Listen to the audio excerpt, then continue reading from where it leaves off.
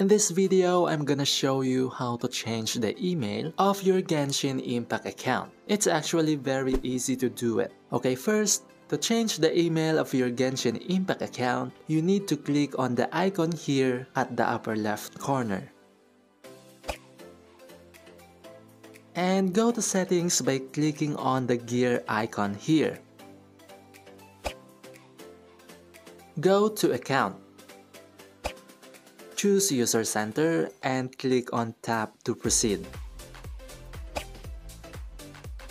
Now you can see the email connected to my Genshin Impact account here. You can change it by clicking on Modify Link. We will choose Email Verification and scroll down and click on Send Code. The verification code will be sent to the email that you are currently using, so check your email and type the code here. Once done, click on Next.